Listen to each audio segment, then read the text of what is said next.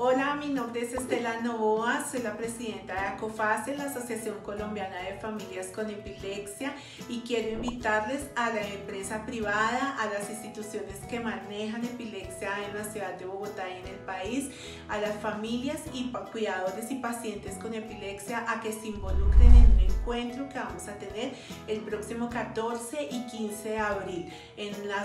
Avenida de las Américas con calle Tercera en los salones de las instalaciones de ese lugar para que se involucren. Vamos a tener todo el manejo biopsicosocial, afectivo, emocional y de terapia para los pacientes con epilepsia. Síguenos en las redes que aparecen al final del video.